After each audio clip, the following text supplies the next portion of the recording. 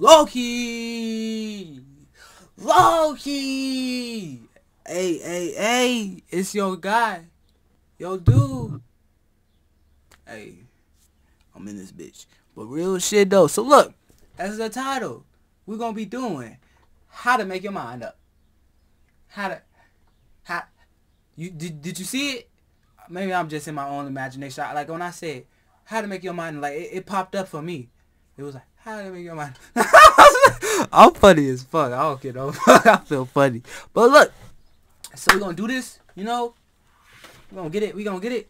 We'll get it just like this though. So like when it comes to making up your mind, I'm just gonna give you know some of my pointers. If you got any pointers, you can let me know. You know, you can let me know if if you or if this helps you.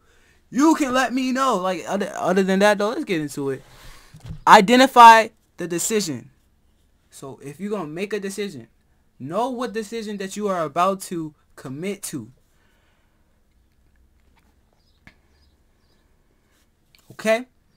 Now that you know what decision that you are going to commit to, make sure you have all the information you need to make this, you know, happen for real. Like for me, like make sure you know you are well informed about what path you're going down. Make sure you know you if uh, so say you are a person. If you into lizards, make sure you know all about lizards.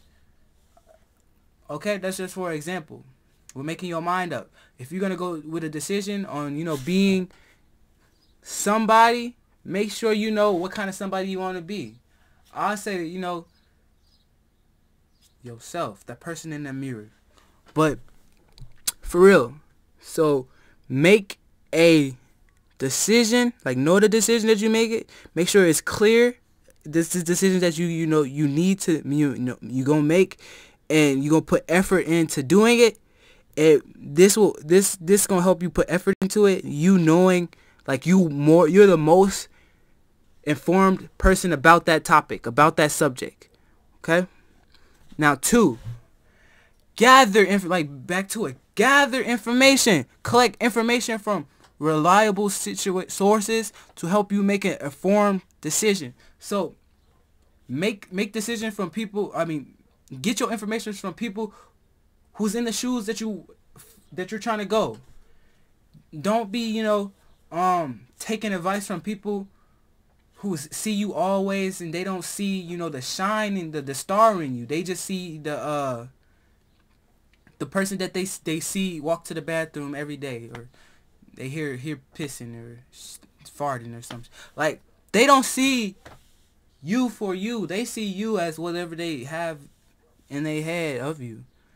But, you know, go up to a person or go to a place where you can get the information that you need to make that decision. Get all the reliable information. Like what a source is, is basically a person. Like I'm not talking about no website source. I'm talking about a source. Like you can go to a person who is already in the shoes of where you want to go. You can get what they what they've been through, what they what they learned along the way. It's it, it's gonna help a little, but it's not gonna be the same way if you you know learning how to walk when you was a baby. It's not gonna be the same way as like how when you learned how to walk, you was by yourself walking. So it, it's like if you do want to know take in some of they they intake, then you can use that to you know make make you know be aware of what is to come.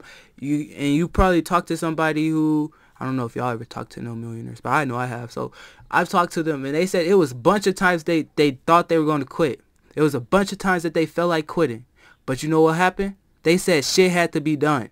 If not, if it was not, if they did not do nothing, if they didn't get up, this is how this is how I, know how to get to where I'm gonna go. If they didn't get up, they would not be who they are. So you have to get into a mind state. Shit has to be done. If not, nobody's to do it.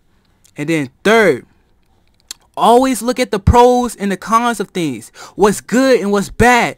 Make a list of what's good and make a list of what's bad about the decision that you make for each option.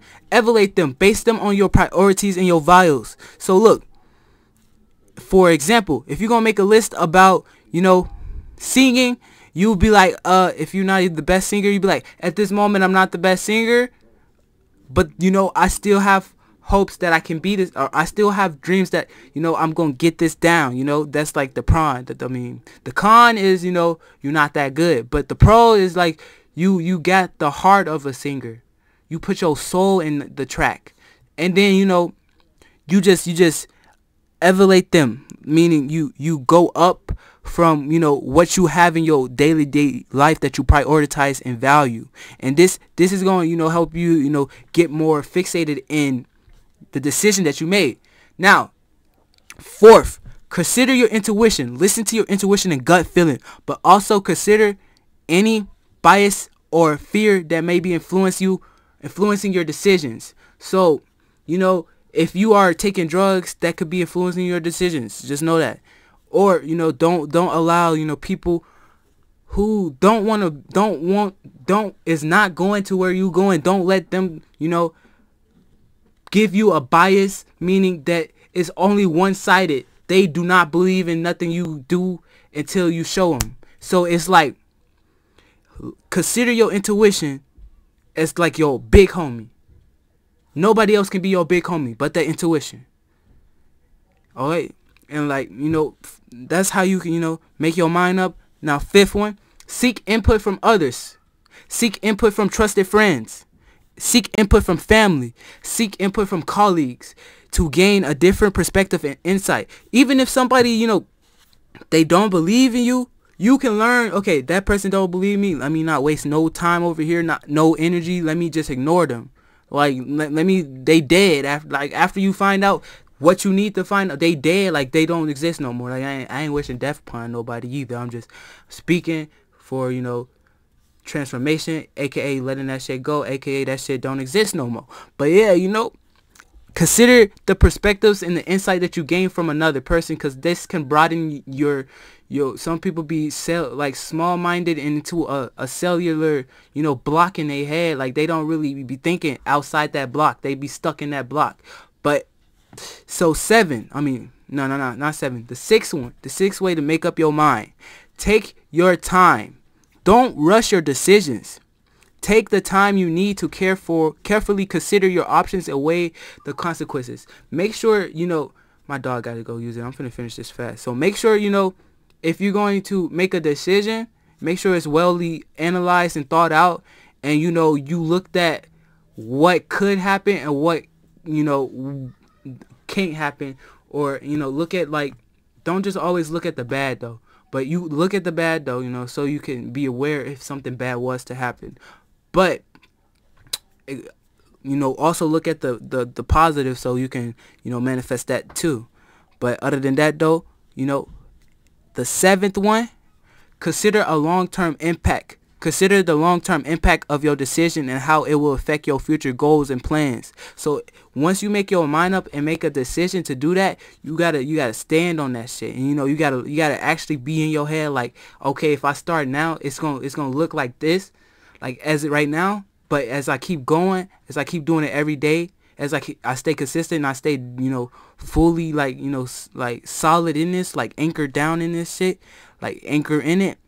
You gonna see like how it will affect your future, you probably be like, if you're doing it right now, you'd probably be like, you know, me doing this right now, I feel a little tired. So get get ready for the future. Just know it's gonna be more days you tired. It's gonna be nights you want to close your eyes. It's gonna be days you don't eat. You have to be prepared for it. So you know you have to consider the long term uh, impact of the decision that you're gonna make. Like if you if you say I'm gonna keep working every single day from this day on, you gotta know it's gonna be some days that you feel like not you can't work.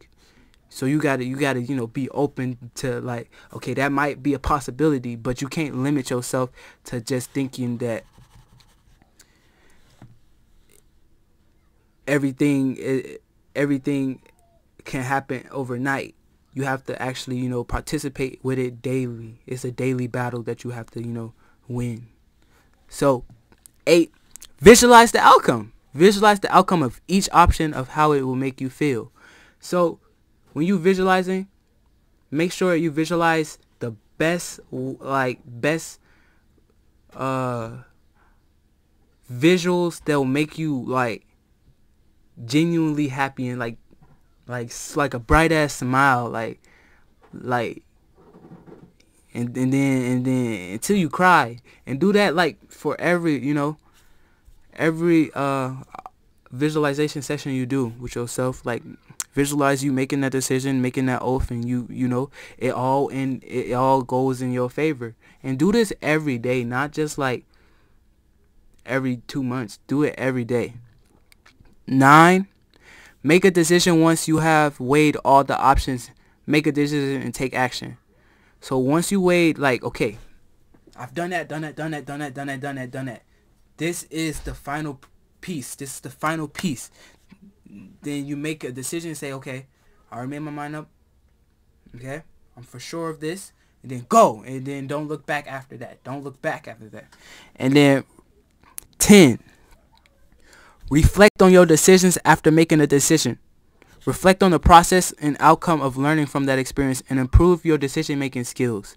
So listen, to improve your decision-making skills, that's going to be another video, but I'm going to break it a little down in this video. So to, to prove it, you have to trust that you're making the right decision, even if it's, it's not the right decision. The more that you trust yourself, the more that you're to make the right decisions. But the more that you're not trusting yourself and you feel like, uh, I'm not going to make a decision because I feel like I, I, it's going to be wrong.